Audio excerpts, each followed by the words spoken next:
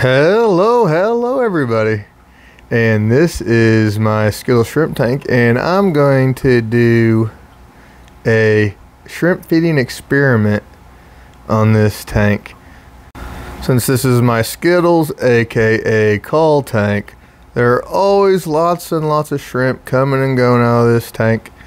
And so instead of overfeeding like I have done in the past to make sure I'm throwing in enough. I wanted to get a good gauge on how much food I need to put in here, especially when it comes to algae wafers.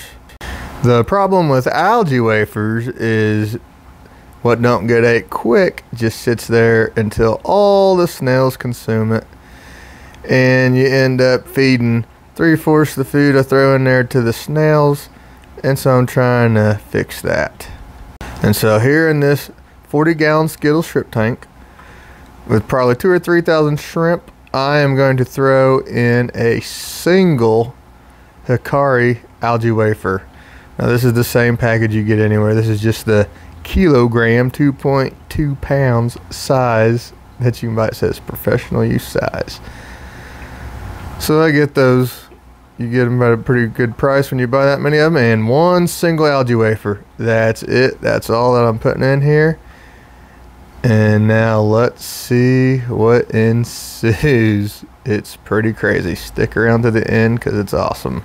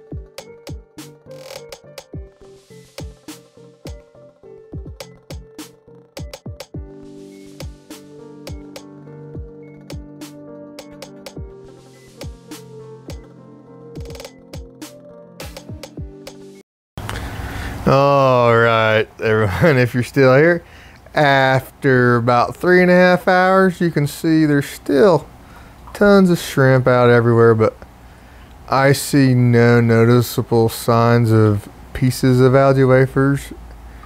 I think they're just little bits that have flaked off and, you know, they smell the little bits of algae wafers and they're out.